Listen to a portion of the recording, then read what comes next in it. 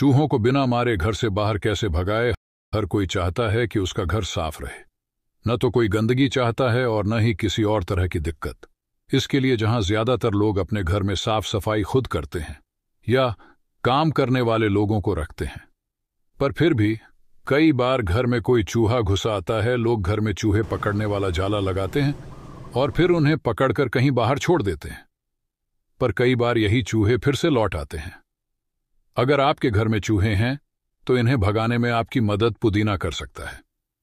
दरअसल, चूहों को पुदीने की महक बिल्कुल भी पसंद नहीं होती है। आपको घर में पुदीना रख देना है या फिर जहाँ चूहा दिखे वहाँ पर रख दें।